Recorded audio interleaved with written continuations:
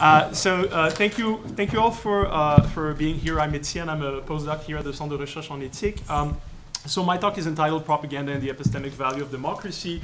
Um, so uh, this is the uh, this is a fairly new subject of inquiry for me. So I'm actually really interested to to hear what you think about it. so um, I'll try to keep the presentation short so that we have enough time for uh, Andrei's comments and then, and then uh, the, the Q&A. So let me start by uh, a few introductory remarks.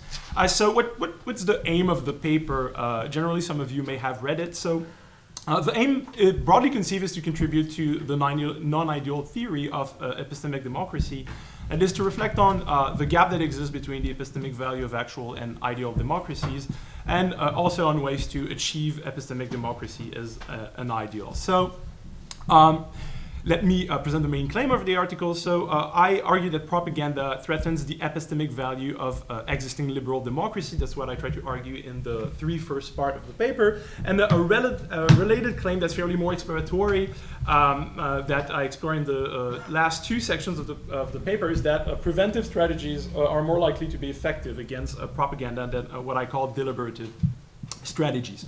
So uh, if I move to the, uh, the outline of uh, the talk, so in the first uh, section I, I uh, simply try to uh, define propaganda. So propaganda is not an easy concept to define, as I mentioned in the paper, because it often functions as some sort of rhetorical weapon, as an accusation rather than as an, an, analytical tool. then in the second section of the paper, I try to um, show that there are reasons to believe that propaganda can be effective in some context. Then, uh, in the third section, which is a fairly important uh, section, uh, I try to relate the, the, contemporary literature on propaganda with uh, the, the literature on the epistemic value of democracy, and to uh, make the claim that propaganda can threaten uh, the, the value of democracy. So the fourth and fifth part of the paper are a little, more, are a little bit more exploratory, as I mentioned. then I turn to kind of strategies that we may try to use in order to kind of fight the effects of propaganda. So in the fourth section, I consider uh, what I call uh, deliberative strategies, uh, democratic deliberation, as, uh, as a potential strategy to uh, fight the effects of propaganda. In the fifth part of the paper, then uh, I turn to preventive strategies. I also try to give at least one example of a preventive strategy that is currently discussed, which is currently discussed in Germany. I'll come back. I'll come back to it. So.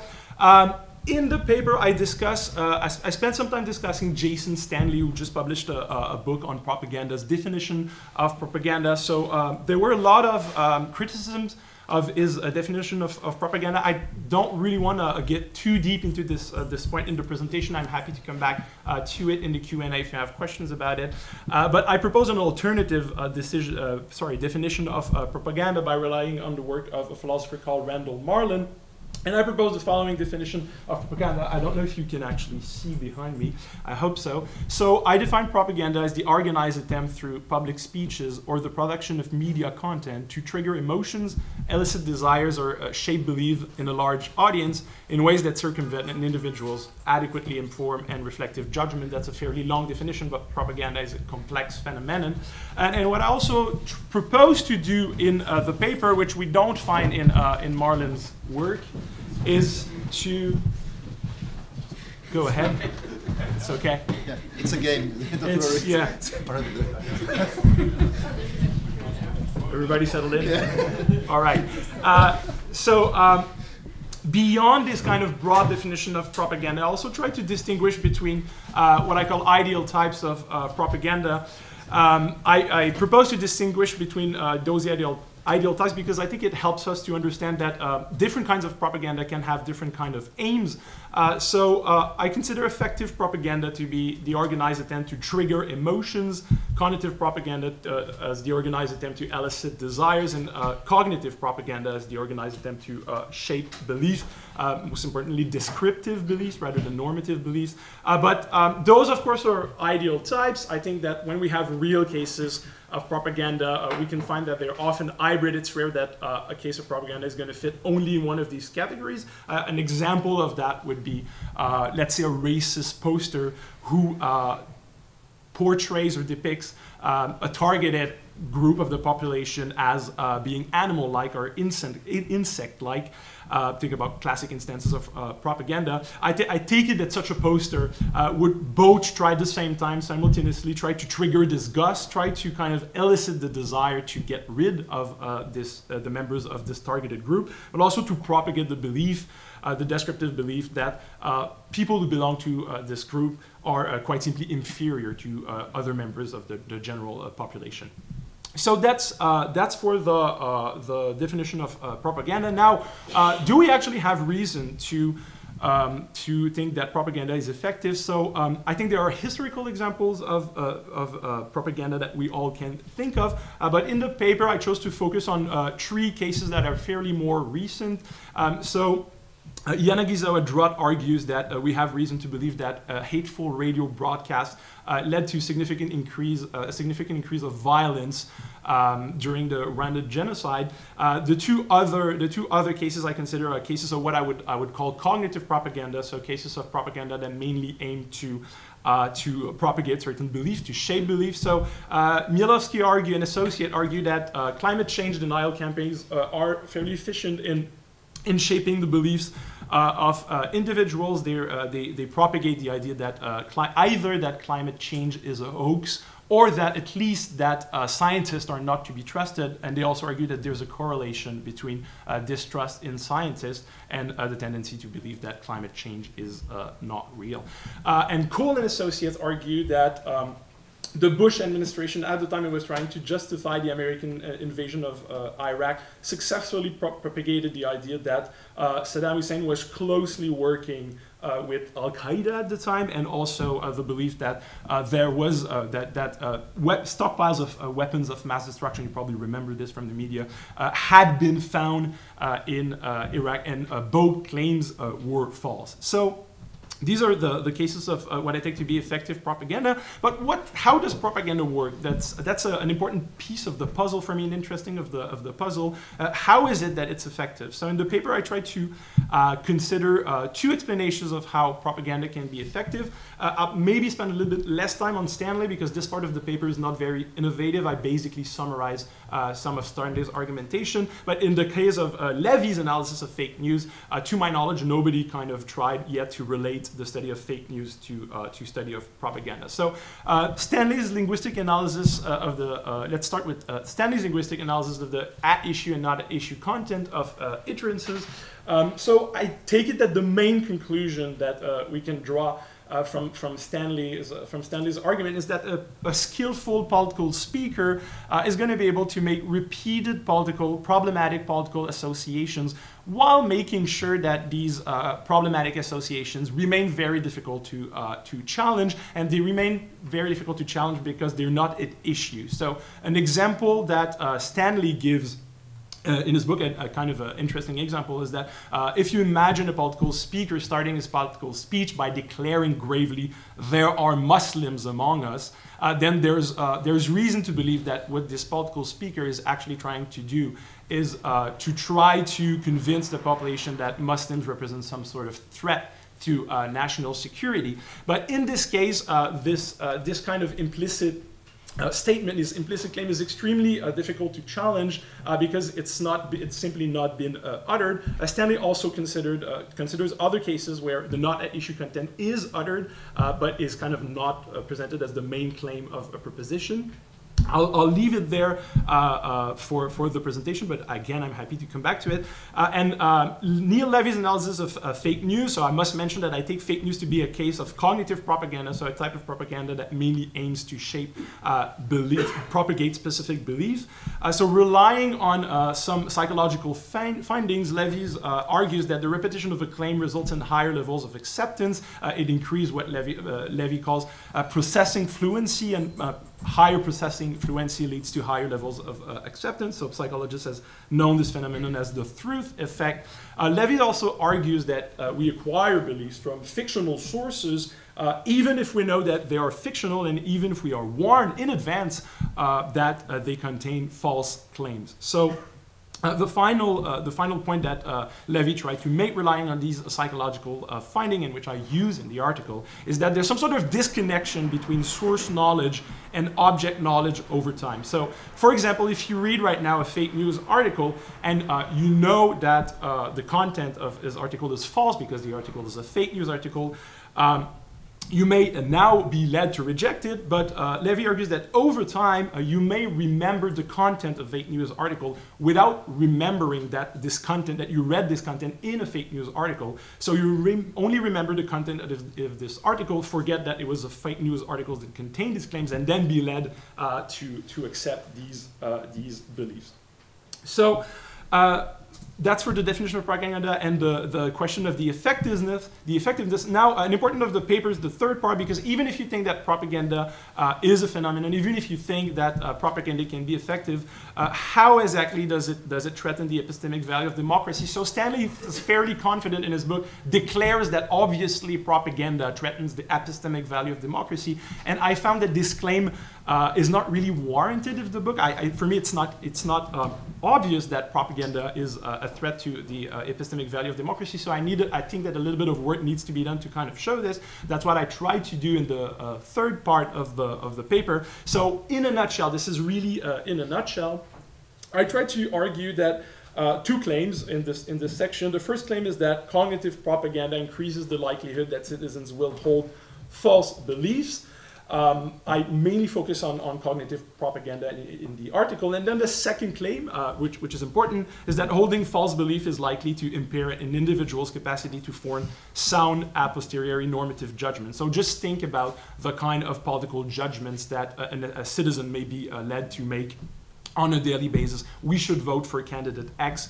Uh, we should uh, open the borders or close the borders. Uh, so I take this to be a posteriori normative uh, judgment in the position to kind of like really abstract normative, uh, a priori normative principle. So an example of that uh, that I give of the paper is that falsely believing that the presence of migrants and refugees in our country uh, has led to increased crime rates. This is uh, a fake news story that has been circulating a lot uh, in the last year. Will hamper our reasoning if the task at hand is to determine if we should vote for the candidate who wants to close borders or for the candidate who argues that we have a moral duty to accept uh, more uh, refugees. So uh, an example of a fact that's important to know to know that it's false in order to, to make a sound normative judgment. now, um, some of you might think that the challenge posed by pro propaganda, especially cognitive propaganda, um, is not really uh, is not news, nothing new under the sun here. Uh, after all, there are some political scientists and economists that have been arguing uh, that voters are not very enlightened in the first place, that uh, the um, for example, Bryan Caplan, Ilya Somin, and Jason Brennan all argue that the epistemic value of democracy is fairly weak uh, because um, the average uh, voter's political knowledge is, is fairly low. Uh, but I try to distinguish in the paper so uh, the argument from ignorance and uh, what I take to be the challenge posed by cognitive propaganda. Uh, because I think that what a cognitive propaganda uh, uh, disseminates is false beliefs and not ignorant. Uh, and I take it that uh, falsely believing that X is not the case is a distinct epistemic state than uh, not knowing whether or not X is the case. one reason I'm, I'm, inclined to make this distinction is that false beliefs tend to rule out Socratic ignorance. So the simple situation in which you would know that you do not know. Um, but um, ignorance does not necessarily rule, rule out uh, Socratic ignorance. So kind of to, to see the political implications of this distinction, imagine, let's say, voter one, uh, who gives great importance uh, great importance to foreign policy proposals of uh, presidential candidates, but knows that he, he's not very knowledgeable, uh, knowledgeable about um, about the foreign policy proposals of uh, those two candidates. So uh, voter one may decide to not base his vote on, uh, on the policy, uh, the foreign policy programs of the candidate simply because he, doesn't know them, and then contrast uh, voter one with voter B, which also gives great importance to, to foreign policy in his political choices, um, but falsely believe that presidential candidate A uh, defends, uh, I don't know, certain, a specific uh, foreign policy program that this candidate does not really defend. Um, if he happens to really hate uh, these, uh, these foreign policy proposals that are not really defended by a specific candidate, then he may be tempted to uh, base his choice on this uh, misinformation and then to make uh, a choice that would be poorly justified. So that's one way in, in which I try to, to uh, distinguish the challenge posed by cognitive propaganda from the argument from ignorance. A second way that I try to do this in the paper is that uh, the, the knowledge affected by propaganda, I take the knowledge affected by propaganda uh, to be more relevant to the ability to pass a politically competent vote uh, than at least uh, some knowledge that is measured by political um, surveys, five minutes, thanks. Um, so um, Hélène uh, Landemore argued in response to, to, to, Caplan's claim about political ignorance that uh, sometimes uh, the use of political surveys to measure uh, the, the knowledge of individual voters is quite, uh, is quite elitist. Uh, sometimes political surveys measure things like do voters know or not how many senators there are per US state, and the idea that it's unclear actually that knowing that um, is relevant to the ability to pass a politically, uh, pol uh, politically competent vote. But uh, I take it that the, the, um, the uh, knowledge that is uh, kind of undermined by uh, certain instances of cognitive propaganda uh, is relevant to the ability to pass a politically competent uh, vote. So I try to give examples of true belief that may be undermined by, by cognitive propaganda or fake news story that I, I, take to be important to pass a politically competent vote. So climate change is happening. New immigrants do not have a significant impact on crime rates.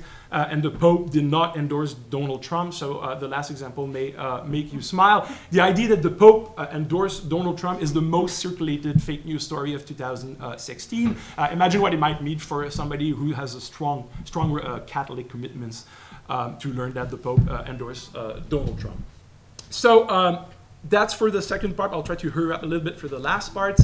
Um, so the, uh, the last parts of the paper are a little bit more ex ex uh, exploratory. Um, if you agree with me that propaganda uh, poses a threat through, um, through the uh, epistemic value of democracy, you might be inclined to wonder what kind of strategy we may use to kind of fight uh, this effect. Uh, and you may be inclined to think that democratic deliberation itself, having citizens deliberate, is gonna kind of counter these effects because they may weed out the good information from the bad information that's been propagated by uh, propaganda. Uh, Fishkin and Luskin found that individuals who participate in deliberative polling experiments do gain significant political knowledge uh, over short-term and uh, medium-term uh, at least. Um, but uh, I try to insist on the fact that studies of uh, deliberative mini publics fo focus on knowledge gains, not on the correction of false belief. Uh, yet there is evidence that convincing individuals to correct their false belief is significantly more difficult, at least more costly, requires definitely more effort, more energy, uh, than teaching them facts that do not contradict the beliefs they already hold. So once again, Levy argues that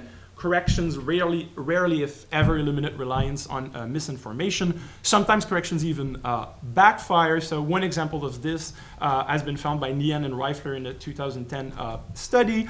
Uh, and they found that conservatives who believed that Iraq had uh, weapons of mass destruction stockpiles and were presented with evidence that it did not, in fact, um, that Iraq did not, in fact, have weapons um, of mass destruction uh, stockpiles ended up being more likely to believe uh, that they had that uh, people who were uh, that conservators who were not presented with uh, this uh, this evidence. So. I must mention, nonetheless, that this was found by Nyhan and Reifler, and I think some reproduction studies have been made, and not everybody agree, agree, agrees with these findings. Um, but uh, still, I think that we may have reason to think that uh, deliberation is not likely to uh, help us fight the effects of propaganda. So in the last uh, part of the of the paper, I, I try to consider an alternative strategy. Now, this is not the only uh, this is not the only strategy that we may think of in order to as a strategy to fight the effects of uh, propaganda.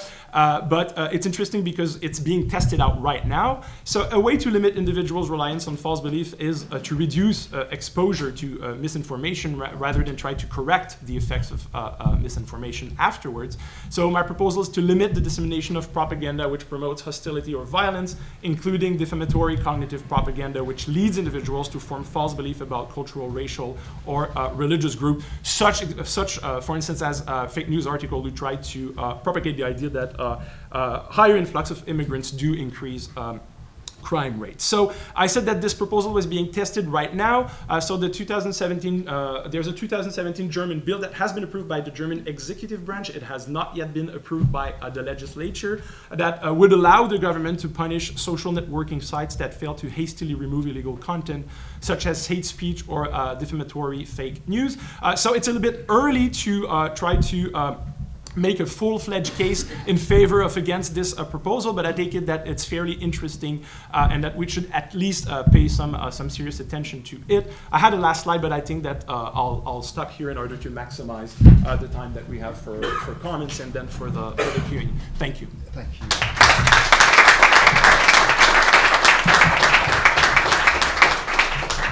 Andrei, please. great, thank you. Thank you very much. I really, really enjoyed the paper. Um, and it was also a good opportunity for me to actually read Jason Stanley's uh, book that I read in the last three days, um, and that was also uh, uh, almost as enjoyable as reading your paper. Um, if I read you correctly, the, the argument seems to be propaganda raises a problem for uh, epistemic justifications of democracy in ways that deliberation uh, cannot fix. Um, and the problem specifically is that propaganda sort of impairs, or as you put it, uh, circumvents our ability to form uh, well-informed and uh, well-reflected upon judgments about the issue at hand. Um, so I have a couple of questions. Uh, I will try to keep my comments as brief as possible. Um, the first one is about the main argument um, it seems to me that there is a difference to be made between attempts at uh, circumvent, circumventing or impairing our uh, ability to form beliefs, uh, beliefs or judgments and successful attempts to do that. Because I can see an argument about uh, failed attempts uh, of propaganda that actually reinforce our capacity to uh, form mm -hmm. well-reflected attempts. It's sort of like a sort of a Millian argument that we need uh, we need bad beliefs out there uh, that we're constantly exposed to in order to um, uh, basically not not have our ability to form uh, well-formed beliefs uh, stifled in some way. So uh, one thing about the sort of the, the, the, mm -hmm. the, form of the argument itself. The second one is about Stanley, and it was not clear to me the, the, the work that Stanley is doing in the paper, because you seem to sort of use him a bit at the beginning, uh, but then completely yep. uh, leave to the side the way in which he thinks about pro propaganda. I don't think that the way in which Stanley defines propaganda is particularly convincing. Uh, and I think that the distinctions he draws between supporting and yeah. undermining propaganda, uh, positive, negative, etc., have their own problems. Yeah. Um, but I, I, I, want to push a bit on yeah. Uh, clarifying your relation to what Stanley is doing, because it's clear what he's doing in the in the second part when you talk about issue, not issue, questions, and the way in which propaganda incurs uh, our ability to form judgments there. But at the beginning, it's not clear that you need him. Um, and also, second point, uh, it might be interesting to the, the, fact that you don't really use him. I think. Um, puts you in a position where you give a very negative uh, picture of propaganda. So you, you seem to say that you know this like the definition your working conception your working definition seems to be well it just impairs judgment uh, and that leaves to the side what uh, Stanley is calling civic rhetoric I think in the book. Yeah. Uh, so these sort of positive forms of uh, propaganda. So I was wondering where where where you are on, on that particular point. Then on I think it was really smart your ideal typing of, of the three ideal types of propaganda but I do have a problem with that. Um, so uh, one is that I don't think that you, when you speak about cognitive, conative, and uh, what's the other one? Uh, affective. affective, emotional. I'm not sure whether they're ideal types or functions of propaganda. And by that I mean I have trouble in seeing how you can have an ideal type of propaganda that is not resorting in a massive way on emotional appeals, mm. whether you're talking thinking about propaganda negatively or positively. So I think that even your cognitive case yeah. uh, has to be effective yeah. uh, in, in some respect. So I'm not sure whether even analytically, so even analytically, so obviously in practice they're going to be mixed, but even analytically whether it makes sense in relation to the concept of propaganda to actually have uh, a separate type that is cognitive propaganda. Yeah. Right. Because obviously, you okay, you won't find them in practice. They're sort of ideal types, but at least you have to be able to come up with a, at least a counterfactual example of uh, purely cognitive propaganda, uh, and that just looks weird to me. So something that doesn't uh, Yeah. uh, rely on an appeal to emotions, and I think also that doesn't sit very well with your use of Neil Levy's critique Yeah. uh, when you say when of, of, of the naive view of beliefs uh, and his critique of this idea that we can classify uh, mental states into beliefs, desires, uh, what was it, uh, fantasies and fictions, and that th- these are sort of uh, th- th- there's this distinction to be had there, but not a dichotomy. Yeah. Um, and you seem to endorse that assumption of Neil, Neil uh, of Levy's critique. Yeah. But at the same time, you seem to give it up when you devise the ideal types. See what I mean? Yeah. Okay. So I'll just keep it there. Uh, the third, uh, the claim that deliberation is not conducive to truth. I don't think that's really exact. So I don't think that the so uh, my view on deliberation is that the, the, the record is mixed, Yeah. but that doesn't make deliberation, Yeah. you know, totally uh, epistemically ineffective in weeding out even false beliefs. Um, and one example that I had in mind was, uh, well, obviously with the, the, there was a host case, but uh, the way in which um, uh, the, the, the um, American public was swayed, uh, changed their views on gay marriage. I think that deliberation, sort of grassrooting deliberation, played an important role in weeding out these false beliefs about, you know, what, what a gay couple is, what gay life is, etc. The fourth is on prevention. Uh, I don't think that the example you're actually giving is an example of prevention Okay. uh, because it doesn't really prevent it from, from happening. It's more like a sanctioning uh, example. Um, and obviously, I think there is a huge problem with this because you're, you're basically proposing an anti-democratic tool to fight a, uh problem that democracy has in some respect. Uh, and I think that strategies such as these can, can backfire. I mean, there's Yeah. an empirical story to be had there, but I think it's, it's, it's, it's a shaky uh, solution. And also, I think that it doesn't address the insidious, insidious ways in which propaganda can work, right? There are Muslim among us. I can put that as a status Yeah, yeah. On, on, on Facebook, and, and there's, n- I mean, there's, that's not necessarily hate speech, right? Yeah. Uh, that's an assertion that can be totally, totally innocent. And th- that is specifically the, the, the, the, the, the problem in a way, right? Like if you take Stanley's distinction between not an issue at issue, that's where the, the, the damage happens Yeah. the most, right? Yeah. In these insidious forms. And I'm, I'm, I'm afraid that these kinds of solutions would not be able to address those uh, insidious forms. And I had like thought about two strategies. One that I think goes in the direction of Juliette's paper Yeah.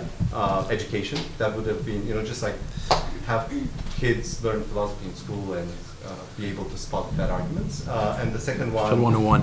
uh, and the second one, just just uh, come up with better, more effective forms of positive propaganda. Like, Okay, so a sort of- Sanders, Obama, Kind of Uh, counter propaganda thing. which Yeah. would again happen in a sort of a Millian framework where there's a fight, but not a silencing, silencing of, of the bad guys, basically.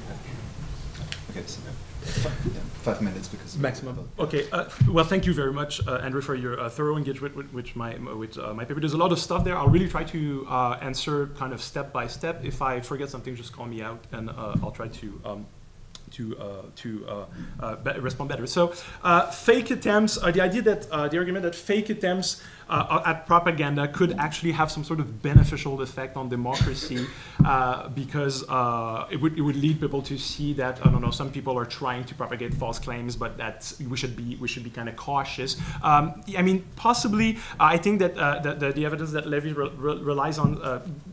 Makes us think that uh, that would be a little bit like overly optimistic about the, the, the actual individual capacities uh, of, of um, individuals. And the, the interest for me of Levy's analysis, it, it not only, he tries to argue that uh, even people who take themselves, who actually are cogniti- cognitively sophisticated, pay really attention to the kind of sources of the material they're reading, may end up in the end be, uh, be affected uh, in pernicious ways by, by, uh, by um, uh, a fake news article. So uh, I think it's it's interesting. It could work, but I'm a bit less optimistic than you about like the possibility that it's that that that, that may happen. Uh, what's the work that uh, Stanley is actually doing in in uh, my article? I'll, I'll try to respond fairly uh, quickly. So you saw that in the second section. Uh, the first section makes it look like I'm very critical towards uh, Stanley's stance on propaganda. It's not really the case. Uh, so in the second section, I really rely on in, on uh, his, uh, philosophy of language and linguistical analysis of that. In the first section, what kind of work it's, it's doing, quite simply, I just had the feeling that he's the one who just kind of proposed propaganda as a, as a subject of inquiry in philosophy right now. So it'd be a little bit difficult to kind of go around his book and make no mention uh, uh, of this book. That that was the main uh, reason I, I uh, mentioned it. In, interestingly, you mentioned. Um, Oh, well, I, I must uh, respond to that also. Like, uh, what do I think of uh, civic rhetoric? you mentioned the idea of counter propaganda at the end, at the end of, of your comment also. So maybe I'm going to tackle that right now. Um, so I feel that Stanley is not very explicit about the kind of beneficial effects that civic rhetoric could have in his book. the idea that counter propaganda can be a kind of uh, and be an efficient means to fight off attempts at propaganda is interesting to me because it kind of connects the study of propaganda to study of populism because some people argue that we need some sort of left-wing populism, etc. Um, I think that are there are kind of pro-tanto moral reasons uh, to uh, resist uh, th this idea. Uh, I think that there's something that uh, that that may be wrong with just trying to undercut uh, an agent's rational agency by not trying to really inform this person, but really trying to kind of produce uh, induce an effect on, on, on this agent. Now, I'm not committed to the principle that in all circumstances, propaganda is always going to be uh, uh, illegitimate. If you could show me that in specific situations, using propaganda is going to lead to sig a significantly better uh, uh, situation, maybe I would be inclined to, uh, to, to agree with you, but I just think that one has to be careful make, make, when making such um, distinctions. I have to say I'm not perfectly understood how uh, my endorsement of uh, Neil Levy's critique, which is a critique that I endorse, uh, really undercuts my kind of ideal typic distinction between uh, cognitive, affective, and conative propaganda. But I will try to give an example of what I would take would be kind of purely cognitive uh, propaganda, even though we, we rarely encounter it in the real world. It would be some sort of kind of uh, fake news article that really presents himself as a being scientifically informed and does not try to kind of arouse arouse specific feelings uh, in, uh, in, in uh, subjects. But I think your comment, I think your critique is fair on this point because I do think that if you read a lot of, of, of fair news, uh, a fake news article, sorry, um, they, they really kind of uh, try to, to, to rely on the fact that they're going to arise specific emotions. And then, of course, there's also psychological findings that uh, lead to the idea that we are inclined to remember information that arouse strong feelings. That's so. Um, so I think I'll take this point. I think it's a, it's a, fairly, a fairly good comment. So deliberation, uh, deliberation is, a good, uh, is it a good way to, uh, to reach the truth? Note that I'm not committed to the claim that deliberation will not improve uh, people's political knowledge generally. I'm not even committed to the claim that we should not try to implement kind of instances of, of uh, uh, we should not try to implement more uh, a more deliberative or participatory type of democracy. I just think that it's not going to be enough, that it's not going to work in uh, all cases. I think Fishkin and Luskin have a good case to show that it does lead to a certain increase in political knowledge, but I'm, I'm, I'm unconvinced that, that it can work in um, in all the cases. And then finally, uh, really quickly, do I still have a minute? Yeah. Uh, okay. For the preventive uh, sanctioning stuff, uh, so I'll admit that this part of the paper is a little bit uh, rough. It's a little bit messy. A lot more need, would need to be said to make a convincing case against the the uh, the. The prevention uh, or sanctioning. So the idea that it's not even prevention, uh, okay, uh, but it, it would prevent some uh, readers to read uh, these stories. And then if you want to label it sanctioning, then I guess that I would respond by saying, okay, I would endorse the sanctioning strategy instead of a preventive strategy. So it's just a question of label. But I do think that your critique was uh, was underlined by the fairly serious serious point um, that it may be anti-democratic. Now I don't see exactly how anti-democratic it would be to have a corporation to be forced to kind of remove certain sort of, of, of, uh, articles uh, uh, after uh, after a certain amount of time. I mean, the people would still be able to post it. They can basically say uh, Facebook is basically already doing that with other kind of content, the content that is trying to to be uh, offensive. Um, so, but I think I think you're right. I think that the case for the legitimacy of such of such measures need to be a little bit stronger. That more work needs to be done. And the question is the question for me, and I try to tackle this towards the end of the article. Can can this strategy be understood to be a violation of free speech? Uh, and I think, honestly, I think that like uh, I would need another paper to kind of discuss specifically that. Um, I, I, just I just thought that um, uh, it's a little bit difficult to kind of jump into this kind of normative argument about propaganda without making some distinctions uh, in an article such as this one to just try to show what it is and why we should care about it. I just think it would be a bit weird, but. Um, I'll stop here uh, for the video Q&A, but thank you very much. Those are uh, very helpful comments. Okay, thank you. So now we have by Hélène, then Gloria. Uh, okay, thank you very much. I really enjoyed the paper. I also enjoyed the, the trichotomy and the, the, distinction between the different types of propaganda. I have a question about the kind of model of democracy you have in mind. It seems to be a very simple, you know, um, garbage in, garbage out kind of model. So if you have false beliefs, you know, it's going to have very bad consequences. But I, I from my perspective, like the, the great, um, one of the benefits of the epistemic term, if you will, is to look at, at, at democracy as a system of you know, dynamic and strategic interactions and uh, between voters, uh, representatives, and, and, you know, so, so it could be, and I'm not saying that's the case, but it could be that you have those effects of propaganda on the beliefs of voters, and then at, at the at the output end of the story, nothing happens, or you could have potentially good good mm-hmm. outcomes because there's this black box in the middle, the, the representative part, or the deliberation part, or where maybe some of that is neutralized. Or so I think it, I, I, would like a justification as to why you stick to the rational choice theory model of Brennan, so you know, yeah. those guys, when in fact it's very um, uh, simplistic and, and, and I don't think very accurate. Um, or, or did you choose that because in fact you're really only interested in the quality of input and in fact whether or not the consequences are bad, you're just interested in making people uh, individually get closer to the truth, regardless of the. Yeah. Uh, so I think, uh, of course, like uh, I, I, don't think that there's a broad model of, of, democracy that's advocated in the paper. It's true that I focus on a very specific, uh, uh, specific phenomena. Um, I guess at one point it becomes a question of, of confidence in the fact that other kind of strategies may may really weed out like the kind of, of false belief, and and that after deliberation or other kind of mechanisms that one may have in mind, it may turn out to be the case that that well, actually, those false beliefs that are propagated by fake news or propaganda are not going to be that influential, and then people are still going to be able to, to make a sound normative uh, uh, judgments. Um, I, I think it's it's interesting. I think at, at, at, this point it really becomes a matter of kind of studying what really happens at, at the level of deliberation. And I, I know that of course you you are are, are doing that. I would say I've been I've been influenced a little bit, uh, for instance, by like Tali Mendelberg uh, work uh, that that try to show that sometimes when you get people to to deliberate and you try to make them agree on specific normative proposal by uh, exchanging information. Uh, sometimes it just doesn't work, and people it, it can uh, people can end up being very divided, and it, they just uh, can't agree. But I want to kind of stress the idea that I'm certainly not close to the idea of deliberative mechanisms that can make the, the, the democracy better. It's really not a. It was not a it's a, forget about deliberation. Yeah. I'm just yeah. saying something happens among representatives. Yeah. They, they, they, themselves will react to the level of ignorance in the public right. in ways that are not fixed, and, and all those models assumed fixed uh, mm. behavior among representatives. It's a, it's a big mistake. Right.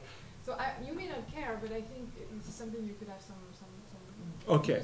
Okay, so so I, your suggestion would be, if I understand you, that at the rep, that there would be something that would happen at the representative level that would kind of cancel out the effects. The, the, effect of propaganda on, on, voters is one thing, yeah. but then the yeah. consequences on, on what representatives do and take yeah. in reaction to this effect we don't know enough about. And assuming that, you know, because you, you, you, you corrupt the input, you're going to have a bad output without knowing something about what's going yeah. on in the middle, it's too simple. Yeah.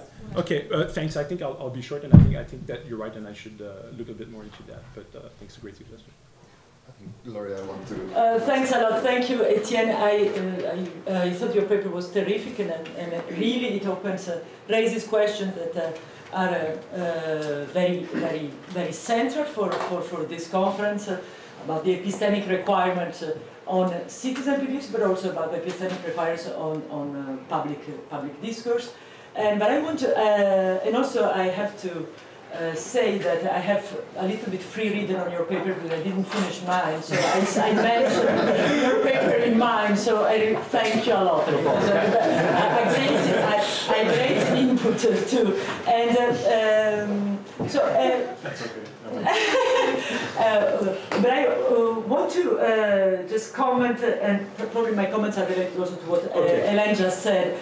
one is exactly. Um, as you may know, I mean, uh, the, the, work of Jason Stanley, whom I'm quite familiar with, uh, is a way of importing some sort of paranoid uh, uh reflections that come from critical theory yeah. to uh, political theory and epistemology. It, it's, it, he is our Zizek in a sense. I mean, like making Zizek serious, I mean, taking Zizek serious. I mean, you take all the paranoid style, we are living in a total uh, propaganda, hegemony, uh, like my friends, Balibar, all these guys from uh, Paris that uh, now are stars in New York, etc. And we are living in an hegemony, etc. Well, and then is right. Maybe they are right. We are living in an hegemony, and uh, I buy this because there is a propaganda and I'm a zombie and I completely. But still, on the consumers.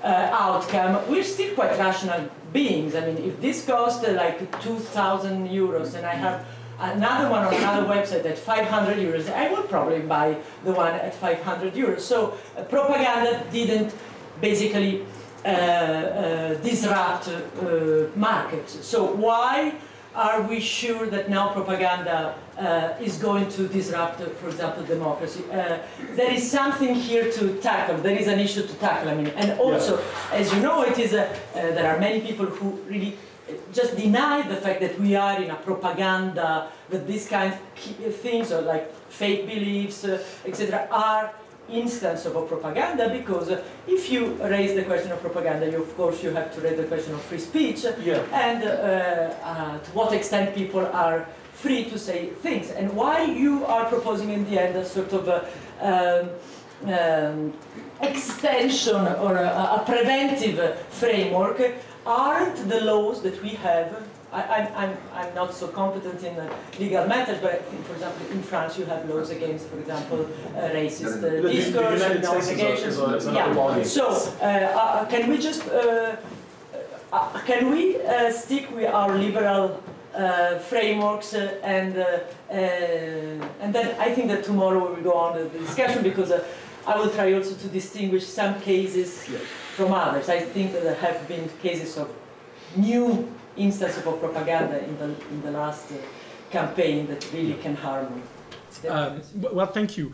Uh, yeah, I do think that you're a little bit more optimistic than, than, than me, but uh, but it's uh, uh it's true that uh, it's it's it's important to kind of not give into this kind of like catastrophic way of thinking that we're all living in the post-truth era and then we cannot make uh, rational decisions anymore. I do think that I, I mean I'm a little bit more skeptical than you about the kind of lack of effect that like publicity or just ads may, may have on on the way we we we, we and it's in this case is also interesting because uh, I deliberately avoided to talk about like uh, propaganda for commercial purposes in the article, but I think that uh, maybe one could one could push that uh, according to my definition of propaganda, and I would be forced to consider the specific form of ads uh, count as a form of, of, of, of uh, propaganda. Um, I feel in a way it's it's always a little bit difficult to respond.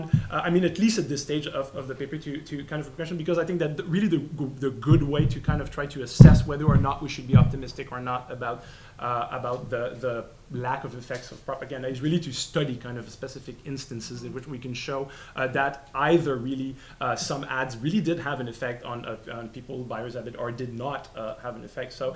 Um, so that would be to, to when, when, with regards to commercial propaganda. Um, I think it's interesting when, when uh, you speak from a European perspective, maybe mentioning, can't we just stick to our laws uh, that we have? Uh, potentially, I mean, uh, in a way, Germany is is uh, is uh, staying close to the kind of approach it has uh, it has had to free speech uh, for for a couple of decades. Uh, but there are a lot of important differences between different countries, and especially between Europe, European countries and a North American country like um, like. Um, United States.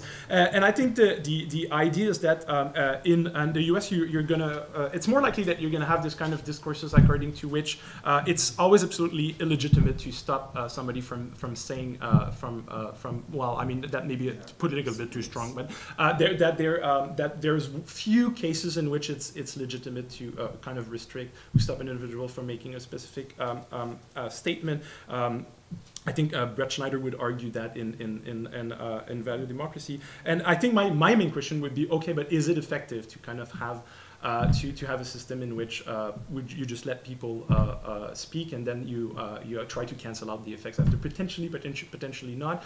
Um, um, and again um, um but Andrei was was kind of pushing this idea. So um, I, I don't tend to consider that what I'm proposing as preventive measures. Is like some sort of hardcore censorship on what people can actually say. I, I feel the proposal at the end of the day very fairly modest. Is to stop an organization from is to force an organization to by financially for, for forcing it, who disincentivize an organization to just let kind of uh, specific kinds of fake news articles who may lead the people to believe uh, false things and may arouse hostility about vulnerable groups. Um, so um, I, I, I, see the warning, uh, but I think that it's going to be a question at the very specific policy that you proposes, and I think that in a way this this this this uh, is, is fairly benign. You could push saying that it may not be enough if that's what you want to do, and and uh, and then the effects are not going to be efficient, and then again we'll have to see uh, what happens in, in, in the, the, German case. So sorry, I'm responding a bit uh, too long to questions. I'll try to. Um, can we take uh, Jocelyn's and Kevin's comments together, okay, and then you respond to, ouais. to them. Okay, Jocelyn. All right, thank you. Merci, Etienne. Uh, so that's a looks like a great, uh, great paper. I'm looking forward to reading it. Um, I share some of the skepticism toward uh, Stanley's book, maybe not to Gloria's level, but uh, I, I, also yeah. share some of the skepticism. But um, it seems to me that one of the interesting concepts in the book is this notion of, of uh, undermining propaganda, which is a particular yeah. type of propaganda and it seems to me that maybe you make it, it a bit too easy for yourself by focusing so much on hate speech or hate propaganda, right? right. Because supportive propaganda is when democratic ideals are co-opted, uh, uh, but in a way that in the end will undermine them. You know, it's just like how sometimes like secularism or laicite is being used to curtail the rights of some uh, citizens, or when it talks about national identity or equality, fairness, and so on. Uh, so this is undermining propaganda because it, uh, it, it, it, claims to uh, be, the discourse claims to be grounded on, on such democratic values, but in the end it will undermine them. And that's, seems to me that's a kind of discourse that we witness in our uh, societies today, which is, and it's a, it's a much more subtle form of propaganda than hate propaganda. It seems to me that hate propaganda, uh, and, and then I share your position, should be ban. I know it's it's controversial in the in the literature, and but uh, you know most countries have anti-hate speech uh, laws because of the harm that hate speech yeah. uh, do. And I'm very much on on, on Waldron's side uh, there. So yeah. But that's how we can attack that, that problem problem. But it doesn't give us any means to fight against uh, undermining much more subtle uh, propaganda. So I was wondering where you are in your thought on uh, we, we take the other question. Right, yeah, thanks. Um, so I think uh, I, I have not read Jason Stanley's book, um, but I am a reader of the sort of empirical literature in American politics on right. dynamics of public opinion and political communication. And uh, coming from this direction, um, I, what, I, I, don't see the distinction, if there is one, between yeah. propaganda and persuasion. Um, mm -hmm. So this that whole literature simply doesn't use uh, the term persuasion because one man's persuasion is another man's propaganda. It's completely yeah. It's just a polemical concept. It has no conceptual usefulness at all. Um, and I wonder what you would say to that perspective. You don't, you don't address it anywhere in the paper. Um, and this is obviously hugely problematic for uh, you know, a project talk, focusing on propaganda. Yeah. If it's not a useful category, and if we're talking about persuasion, then we end up needing to think about useful uses of, of certain kinds. Then we're then we're just not talking about propaganda. We're talking about yeah. the dynamics of persuasion and, and deliberation. Um, so I, I, just have one other thing about um, false beliefs, and this is a little bit in the in the spirit of uh, Alain's uh, comment. But do false beliefs matter if uh, they don't matter for people's votes? Like, what if? Uh. Well, so two things. One thing is uh, you say several times that like if the individual faces the task of determining whether the government should try to reduce carbon emissions, if she should decide whether or not the United States should invade a foreign country, those aren't the decisions citizens are asked to make. They vote. They're asked to vote. Yeah. Um, and so uh, it, it seems like a lot of the time, right, elections are big, complicated things. Yeah. People have false beliefs, but do we have any reason to think that for the things that people think are actually important, that they have false beliefs about them? You mentioned the possibility of people uh, having caring a lot about foreign policy and Yeah. voting on that basis, and having false beliefs about it. There is no, as far as I'm aware, I'm kind of up on this, uh, that there's no evidence that that's case. Um, if there is evidence, Evidence about what specifically? Sorry, I missed. uh, the idea that people are ignorant of things that they claim to care about. Okay. So Uh, I, I, I would be very surprised Yeah. if that's the case, and I, there's definitely no evidence of that. Anyway, Okay. it's too simple. Thanks. So I think I'll answer in order, uh, Jocelyn, and then uh, Kevin's comment. Thank you.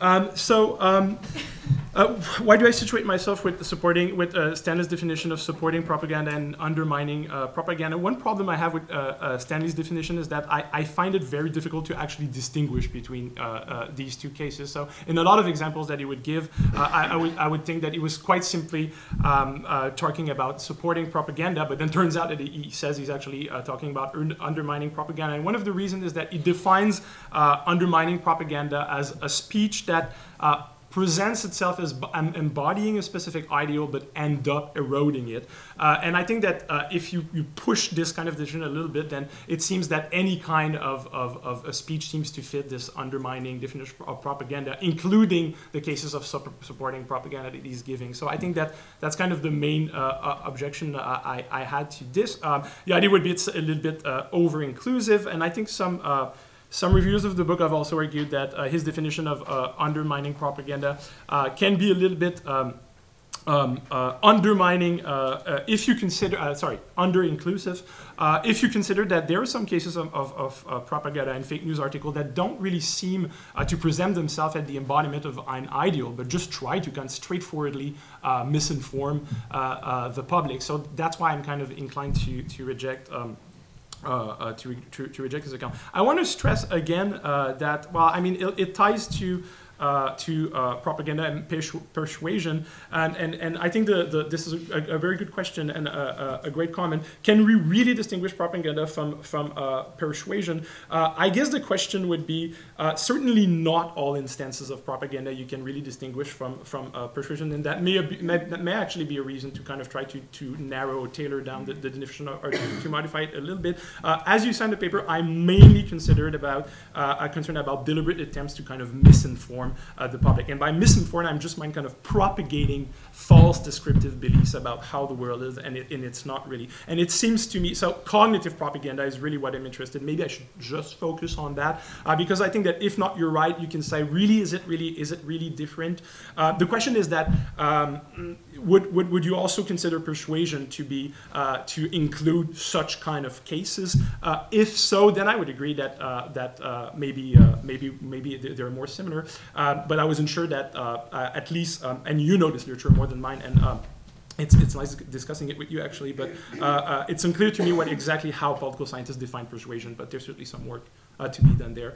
Uh, but uh, yeah, I don't know if I answer your question. Uh, it, yeah, okay. So now, uh, Kristen and Dominic. Yeah, so I, um, I was, I was very sympathetic to your uh, conclusion, but I wondered how well it really responds to the problem you're Yeah. uh, concerned with. So you focused a lot on empirical, factual beliefs. So Yes, whether or not immigration increases the, the crime rate, or whether it, you know Iraq had weapons of mass destruction. But those kinds of empirical beliefs by themselves don't give you any policy conclusions at all, right? So Yeah. there is an extra step you have to make from uh, immigration increases the crime rate to we should be closing our borders. Yeah. Uh, and that, you know, there's certain normative assumptions that you're making about, you know, how to weigh our interests versus the interests of the people who would be immigrants, uh, and how much weight we can give to, you know, risks or perceived risks that we're going to be subject to versus what's at stake for the people who might be uh, immigrating. So, so my concern is partly that you're sort of misidentifying the problem in the empirical belief when actually it's the normative commitments that are the problem. And then some, so and equally, if you're responding by just saying know that this is false, actually immigration does not increase the crime rate, you're sort of implicitly, you're, fa you're failing to address what I think is actually a more important concern, which is the normative assumptions that are being made about how much weight we can give to you know, our interests versus the interests of, mm-hmm. of would-be immigrants or refugees or whatever it might be. Yep. So, you know, by saying instead, you know, I think by saying, oh, Yep. this is a false belief, this is not actually true, we're sort of saying, oh yeah, the normative judgment is right. So yes, if, you know, if the crime rate were going to go up because of immigration, then yes, we should be closing our borders. But the factual belief is wrong, so we should not be closing our borders. And that, that, that really worries me. Yeah. Um, so yeah. He agrees. So, No, no. Things you said. Yeah, that's no, no, just uh, Dominique, and you, you, you Thank you. Two points. My first point was about positive uh, propaganda. Positive propaganda or propaganda that plays a, a useful social role. So if we think, for instance, of uh, environmental, the kind of propaganda that uh, Right. environmental advocacy groups are doing. So I was not exactly sure how that would fit in your system, but we, you've touched that a couple of times already. Ouais. My, my second point was about the effect of deliberative democracy on fake news or cognitive pro- propaganda. Okay. So there's a fair amount of empirical evidence out there that uh, deliberation may create a phenomenon of polarization in a group. So that's a point that people like Cass Sunstein Ouais. have been making for a long, long time. I think he De l'ordre mentions de it polarisation. in al- almost all his books and, and many papers. Uh, so what could be happening when you have deliberation is that propaganda would first uh, slightly shift people's uh, belief or uh, emotions or, or conceptions of the world in, in a direction.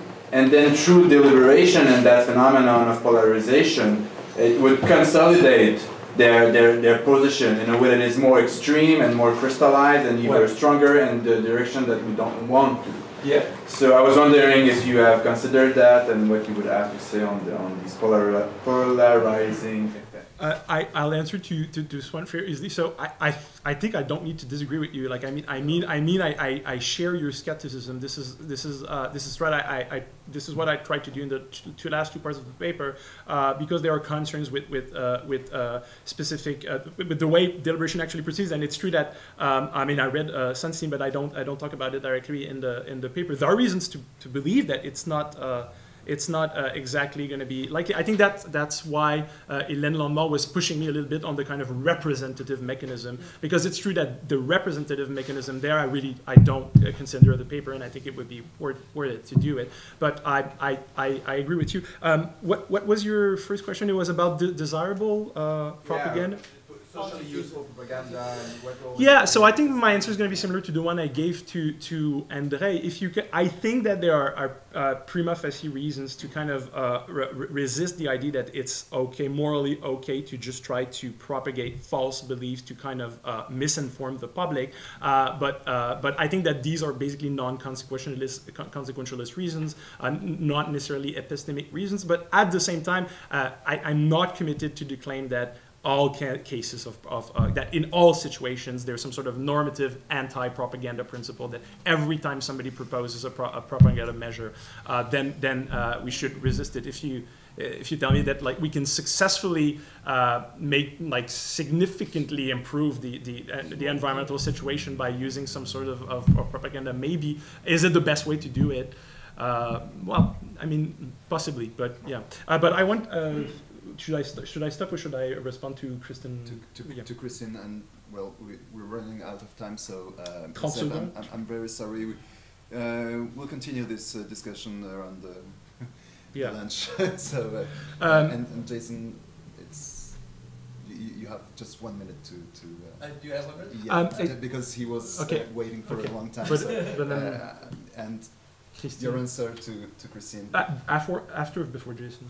no. Okay, uh, yeah, that, that, that's a good point. That's kind of a, like a, a rehabilitation of the fact-value distinction, right? But that's not because we, we believe a specific factual belief that you're going to necessarily endorse uh, a normative assumption. I just find it hard to believe that uh, kind of descriptive assumptions that are the kind that uh, some people who engage or propaganda really try to propagate are going to have no effect or not going to have uh, uh, an effect on, on, on what people believe. I think that if you look at the history of propaganda and give slightly more historical examples, uh, the, act, the attempt to just describe certain groups of the population as actually being less intelligent or uh, having less capacity, I think it led, it, it did have an impact in kind of shaping the normative belief that it was kind of okay to treat uh, to treat these groups better. So I think you're right. There's absolutely no necessary connection between a descriptive belief and then a normative judgment. But I don't think we should pretend like there's kind of no connection. I think that most of our normative These are judgments really- non-free speech situations I mean, in which you cannot reply. I mean, Yeah.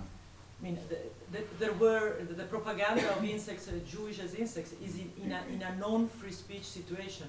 Yeah. The, the opposite. Uh, So the idea would couldn't be- reply yeah. and say, So no, then the idea that- you are the insect and not Yeah. the Jews. So then the idea would be that in liberal Yeah, democratic councils yeah. there would be some some Exactly. some mechanism. Yeah, uh, uh, possibly. Chase.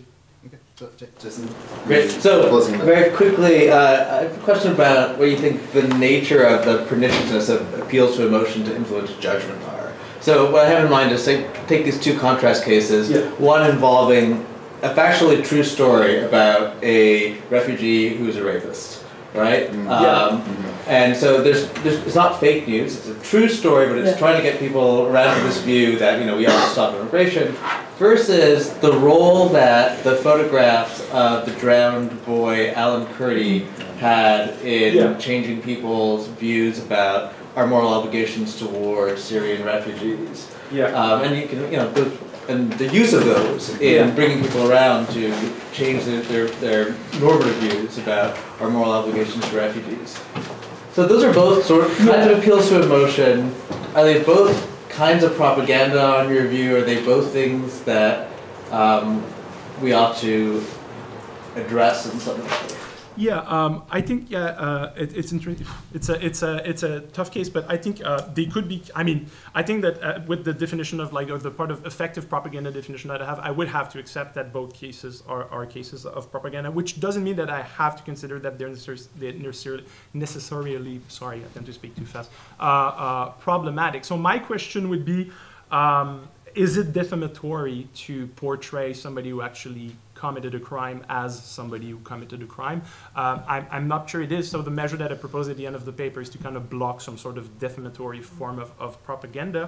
Uh, and it's certainly not defamatory to kind of uh, use pictures of the little boy who drowned. So uh, I find it. A, I, I, I mean, I don't think I would. I would have uh, uh, objections about it. I don't know if it's fully fully answers your uh, your your question.